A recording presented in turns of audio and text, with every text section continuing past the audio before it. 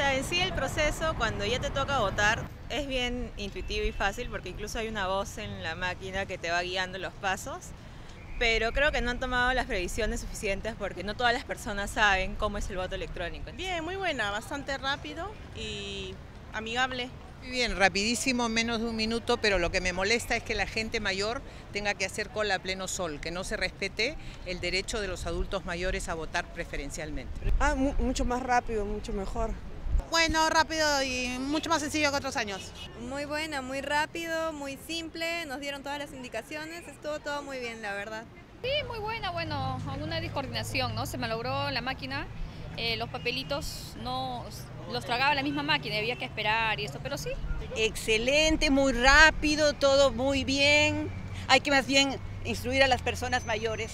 Eh, sí, ha sido muy fácil, en verdad, ha sido este, muy buena la votación, súper rápida. Me gustó, demasiado rápido porque evitamos la, las firmaditas, las la huellitas, evitemos todo eso. Porque te demora menos, menos tiempo y digitalizas y no tienes el tema de estar escribiendo y pintándote el dedo, ¿no? Excelente, excelente, muy bien. ¿ah?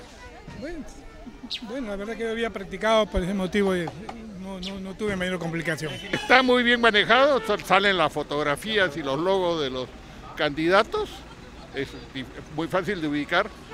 Un poco complicado cuando votas por congresista, porque los números están separados, entonces uno cree que tiene que marcar dos dígitos, pero estás marcando por dos congresistas diferentes, o sea, no ves la opción de 35 al final. Muy bien, práctico, rápido, súper claro. Muy excelente, ¿eh?